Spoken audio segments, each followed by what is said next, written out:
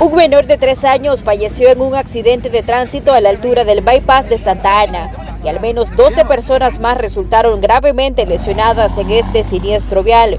A la víctima mortal de este accidente de tránsito, socorristas intentaron salvarle la vida con intentos de reanimación cardiopulmonar. Sin embargo, no fue suficiente para evitar que perdiera la vida.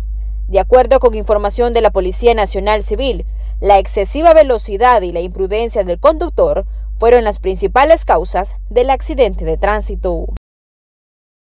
En otro aparatoso accidente de tránsito, una cámara de video captó el preciso momento en que una motocicleta explotó luego del que el conductor chocara contra un vehículo. El motorizado sobrevivió a este accidente de tránsito y únicamente resultó lesionado. El incidente sucedió la noche de lunes sobre la avenida Bernal en San Salvador. Los accidentes de tránsito siguen incrementando y según datos del Observatorio Nacional de Seguridad Vial, en lo que va del 2023, se reportan 12.548 accidentes de tránsito, que ha dejado 871 personas fallecidas y 7.485 lesionados. Las principales causas de estos incidentes se deben a la excesiva velocidad y la irresponsabilidad al momento de conducir, como la distracción al volante. Informó para TVM El Salvador, Sujei Flores.